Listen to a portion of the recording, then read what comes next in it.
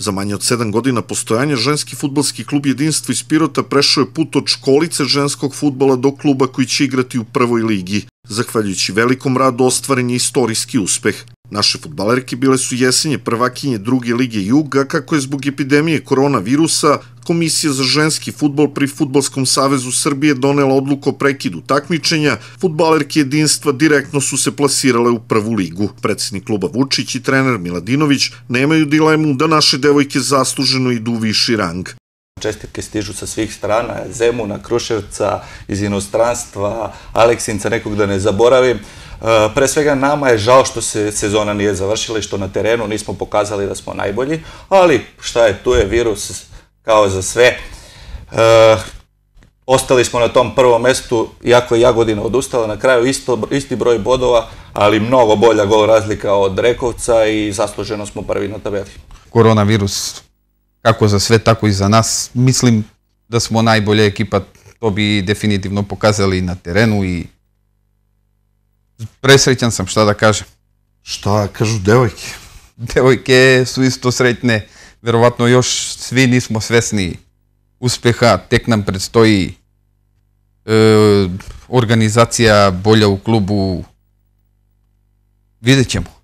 Ženski futbolski klub Jedinstvo neće u prvu ligu, kako se to kaže, grlom u jagode. Veliki posao određen je u zimskom prelaznom roku, dovođenjem nekoliko proverenih igračica, od kojih neki imaju iskustvo igranja u Superligi.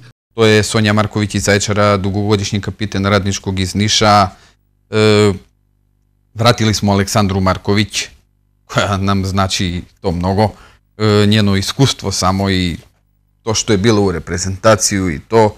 E, tu je Jelena Miladinović iz Kragujevca koja je igrala i, e, iz e, Knjaževca, pardon, izvinjavam se, Super ligu s Knjaževcem i prvu ligu, tako da smo nekako formirali ekipu, otprilike znamo šta radimo, imam plan da kažem, to je to što se tiče pojačanja.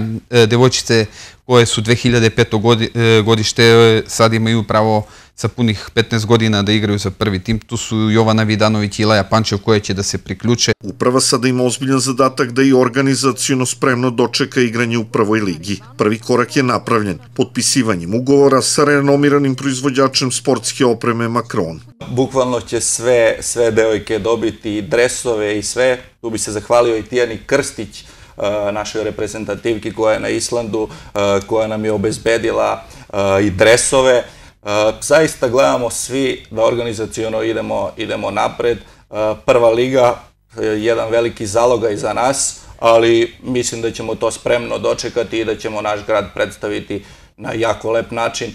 Zbog epidemije koronavirusa, futbalerke jedinstva su na odmoru. Početkom juna počeće treninzi da bi se devojke, kako to kaže trener Miladinović, lagano vratile u trenažni proces. Tek posle toga slede ozbiljne petonedeljne pripreme. Nova sezona Prve lige Srbije za žene najvjerovatnije će startovati početkom avgusta.